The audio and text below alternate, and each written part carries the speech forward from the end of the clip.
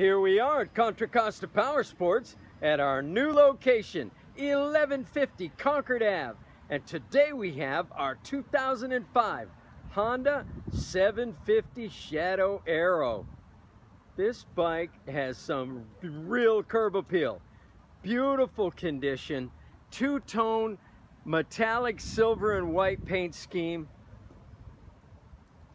liquid cooled shaft drive. This bike has a really cool air intake and an awesome sounding Vance and Hines Shorty exhaust system. Only 24,000 miles on this bike. Price to sell at $34.99. Comes with a passenger backrest.